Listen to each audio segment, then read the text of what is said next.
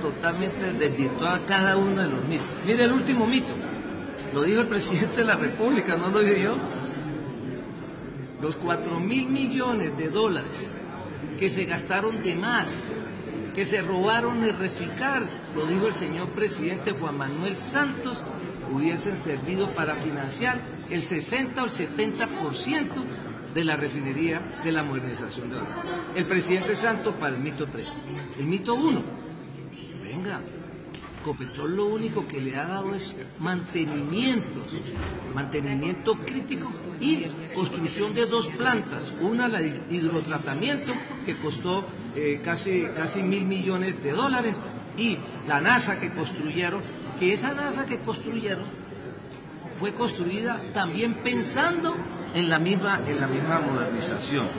Y lógicamente sí lo han hecho, yo no voy a decir que no hayan hecho, pero que han modernizado, no, no se le ha invertido un solo peso, porque es que ¿qué es modernizar? Y ese tema es el tema que la gente debe entender.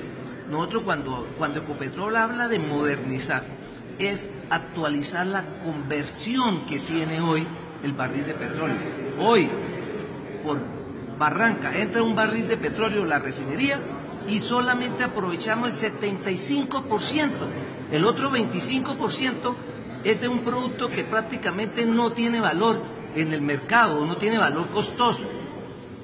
¿Y qué es lo que buscamos? Lo que tiene Cartagena, que por cada barril de petróleo el 97% sea de productos costosos, llámese gasolina, llámese diésel, llámese productos blancos. Esa es la verdadera modernización, es mejorar la conversión. Y hoy, con todo y eso, que solamente en la refinería aprovecha el 25% de la materia prima, que es el crudo de petróleo, las utilidades del año pasado fue 2.3 de Vita. Entonces, eso es lo que estamos diciendo.